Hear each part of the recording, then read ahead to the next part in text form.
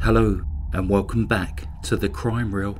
In December 1984, she left a letter in his dorm room that read I hated my love for you for a long time. I hated myself for discovering vulnerability. But as the weeks passed by, I began to understand. I had always believed that I made men fall in love with me, and I would make a man humiliate himself to obtain me. Then I'd give him the best he's ever likely to get, and then walk out.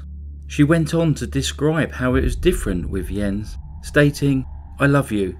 It may alter intensity and direction from time to time, but I will always love you with a part of me that no one else will be able to snatch. To find out more about Elizabeth Haysom and Jens Soering, go visit my YouTube channel, The Crime Reel. Goodbye.